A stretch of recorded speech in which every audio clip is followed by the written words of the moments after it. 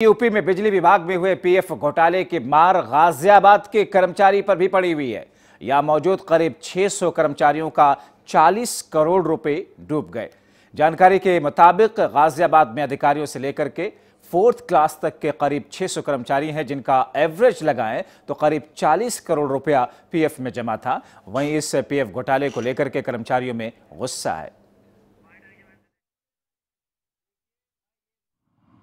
गाजियाबाद में जो मेरा अपना आंकड़ा है, वो करीब 600 कर्मचारी हमारे अधिकारी से लेकर के नीचे जो पियोन तक के कैटेगरी के हैं, वो यहाँ पर हैं बस तैनात। तो उसमें मैं यदि एवरेजिंग करूँ इसकी तो करीब जो इनका फंड में पैसा जमा होगा, जीपीएफ में वो 40 करोड़ के करीब इनका पैसा मेरा अनुमान है जमा होगा, जिसके लिए क्लेम करने में आगे हमारे कर्मचारियों को दिक्कतें आएँगी। तो उसमें भी हम लोग, सभी लोग इसमें, हमारे यहाँ कर्मचारी भी आंदोलित हैं। तो उसमें जो भी समाधान निकलेगा, उसके अनुसार कार्रवाई सुनिश्चित की